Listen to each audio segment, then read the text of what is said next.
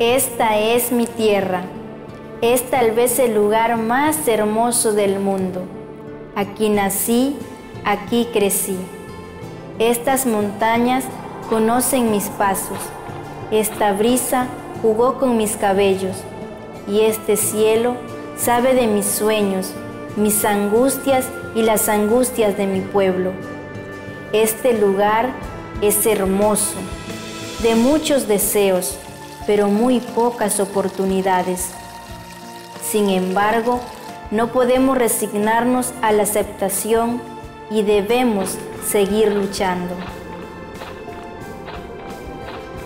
Para todos nosotros cuando nacemos, la vida parece la misma. Aún no sabemos nada. No conocemos de oportunidades ni de esperanza. Solo estamos aquí. Y luego comenzamos a crecer y a descubrir el mundo de a poquito. Y más tarde nos damos cuenta de que no nacemos solos.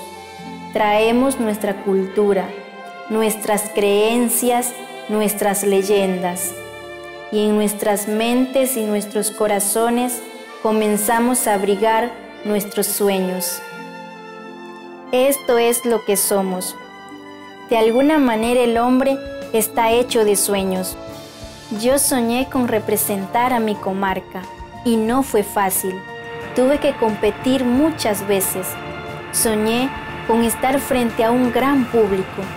Soñé que me escuchaban lo que tenía que decir acerca de la democracia y nuestra participación. Me preparé, me instruyeron, me guiaron, trabajé duro y con persistencia. Entonces ese sueño se hizo realidad. Un joven para triunfar necesita valor, atreverse a realizar lo planeado y aceptar cuál sea el resultado.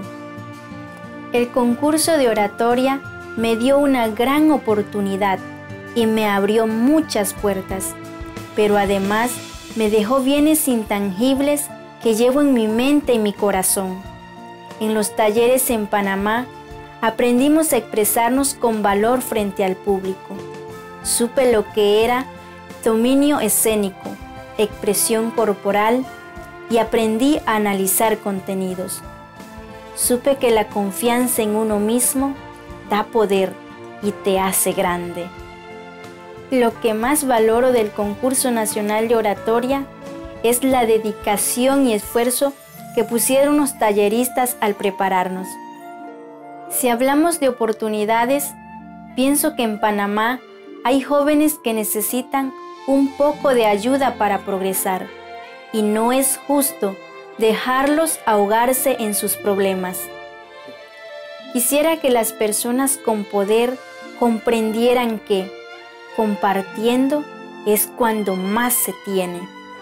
Gracias a las oportunidades voy a estudiar biología. Quiero ser una gran profesional y ayudar a mi comunidad, pero también quiero ser líder y emprender acciones para tratar de resolver sus problemas.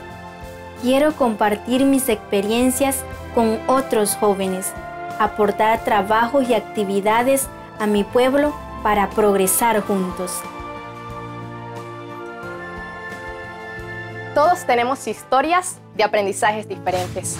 Una de las lecciones más importantes que me dio mi profesora fue perder el miedo a equivocarme. Una es que los errores nos sirven para aprender y la otra es que siempre debemos estar buscando la perfección. La perfección pareciera caprichosa, pero no lo es. Si nos acercamos mucho a ella, se nos aleja y otra vez debemos intentarlo. Y al final descubrimos que la perfección nos ayuda a seguir caminando. Y caminar es crecer, aprender, conocer, ver nuevos mundos, tener nuevos métodos del pensamiento. Pero caminar también es ayudar a otros. Si yo tengo oportunidades, puedo guiar a otros, puedo enseñar a alguien, tender una mano a mi comunidad y país. Queremos un país que progrese, sin corrupción, con justicia, donde nos respeten el derecho a expresar lo que pensamos, pero nos educan para servir y ser empleados. no nos educan para ser emprendedores y los valores están truncados. Para mí el concurso nacional de oratoria no es solo un mero acto educativo, es un hito cultural, más allá de la divulgación, de las redes sociales y de toda la cobertura necesaria. Más allá de los premios, están las enseñanzas que se quedarán conmigo el resto de mi vida. Y esas enseñanzas son las que me ayudan a crecer y me darán la fuerza para ayudar a otros. En los talleres del concurso nacional de oratoria aprendí a tener mayor control de mis emociones y así tener un mejor manejo en público. Pero lo más importante, en estos talleres aprendí a creer en mí y en mi capacidad. Descubrí lo maravilloso que es el arte de hablar, porque a partir de ahí podemos cambiar nuestro entorno y el de los demás. Los jóvenes a veces solo necesitamos una oportunidad y el darnos la oportunidad para educarnos es algo que no solo nosotros vamos a agradecer, lo agradecerán también las futuras generaciones, porque la educación es libertad.